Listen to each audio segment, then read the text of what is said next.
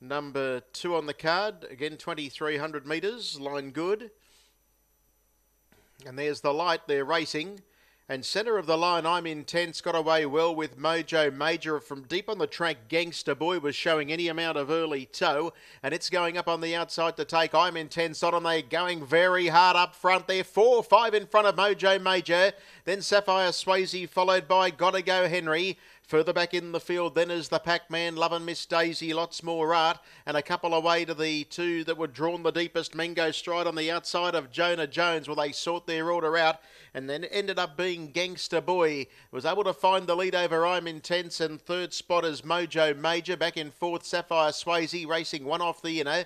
Gotta go. Henry will get its back for some cover, and they were followed next on its back in turn there by the Pac-Man. Lovin' Miss Daisy scoots up on the inside, and the trailing trio, lots more art, Jonah Jones and Mango Stride. So the lead time covered off in 48.8, pretty slick.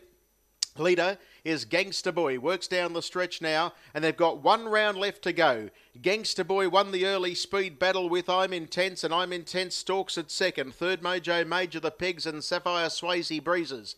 On its back in turn has got to go Henry covering up Lovin' Miss Daisy, and then came Jonah Jones up on the inside of the Pac-Man, and the last pair are lots more art and Mango Stride, and at the moment Mango Stride would sit about eight or nine lengths behind the leader.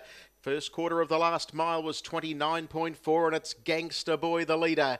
Gangster Boy heads into the back, leading I'm Intense, and Sapphire Swayze strides up on the outside, almost putting I'm Intense in a pocket. And then Mojo Major, three pegs fourth, followed by Gotta Go Henry having a good run. Lovin' Miss Daisy is next on the inside. They were followed by the Pac Man, Jonah Jones, lots more art, and still last is Mango Stride. 28 9 for the second quarter. 58 3 the half as they work towards the far turn at the 600 metres, and it's Gangster Boy the leader.